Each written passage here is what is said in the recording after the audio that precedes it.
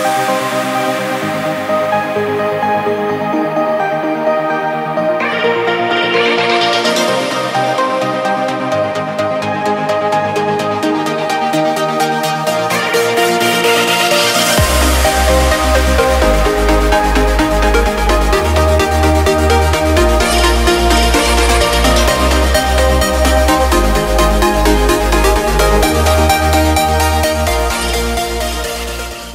get everything out of the F case that I want.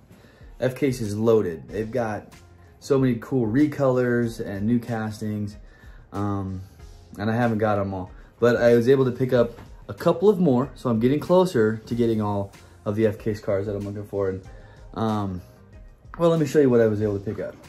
So the recolor on the Kia Stinger, I grabbed this one. I like this red. This is nice. Um, yeah, this is just a good casting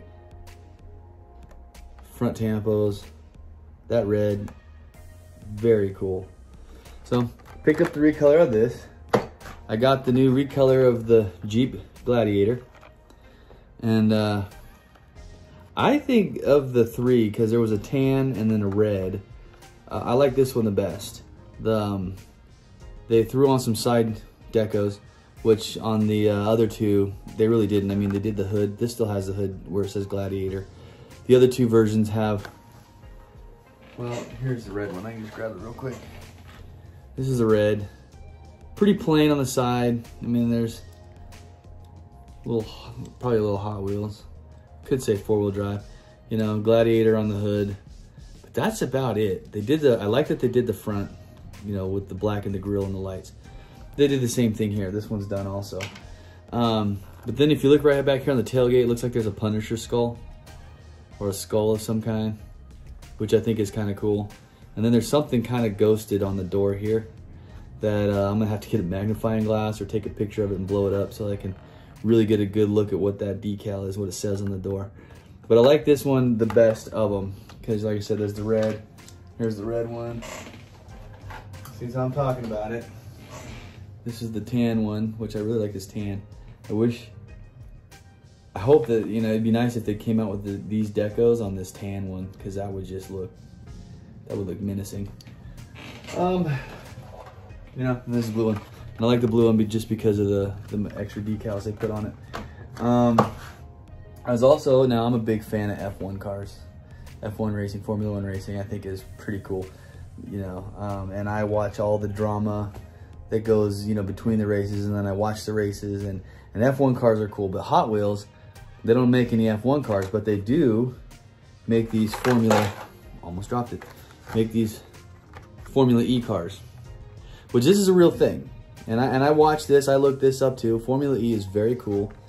Um, is it as cool as F1? Probably not because it's not as noisy and visceral and in your face. But uh, there go, there's a lot that goes in to racing these uh, these electric, because it is all electric. There's no petrol in this. Um, there's a lot that goes into racing these. Like they have to conserve the batteries, and you know they can they run it, you know, at 40%, and then they've got a time period in which they can go 100%, and they got to back it off. Like so, they got to they got to really manage the energy for the car, the the battery on the car.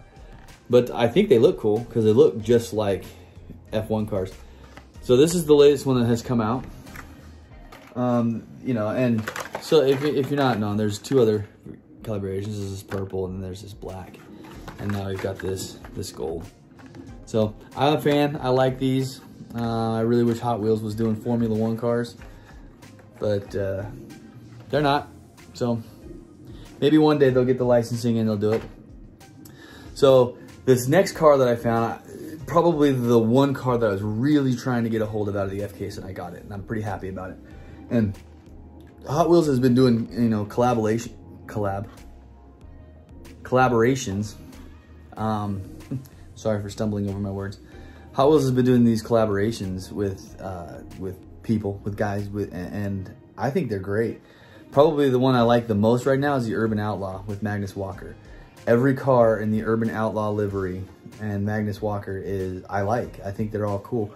You know, but then there's some others, you know, there's the RTR and then there's, you know, the Joey Logano's and all that kind of stuff. But they've recently have done this with Mad Mike. And this is the the Mazda this is the Mazda RX-3 done in Mad Mike's livery. Um, the Mad Mike he actually has a Mazda RX-3. And if you don't know who Mad Mike is, he's huge in New Zealand. Um, he's he's a big deal over there. Um, and you know he's a big deal here. He's a drift car. He does he does uh, drift racing, um, and he's really good at it. But he also you know like he builds insane race cars. But everything with him is Mazda and the rotary engine. Now we've seen this version. They came out with this car for Mad Mike in this livery. And Mad Mike he used he used to own one of these. So it's kind of funny. He had one, looked just like this. Hot Wheels licensed it, did the, you know, made this car. And then um, Mad Mike, he, he had an opportunity to get a pretty rare Mazda that he was wanting to get his hands on that was in like mint condition. And the guy was like, well, I'll trade you car for car. So he traded this car for that car. Kind of funny. So this one came out and then he traded it and got rid of it. But he does still have one that looks like this. He does have a car that's like this. And he's crazy about the rotary engine. Like that's his, like he, that's the motor of choice for him. Um, I've watched videos of him where he has like purchased a Miata and did an engine swap on it, put a rotary in it, um, and then he races them and drifts them. So some pretty cool stuff, some pretty cool stuff. But uh, because I'm you know all about Mad Mike and these cars, um, we're gonna make this car the photo montage. So let's get to it, yeah?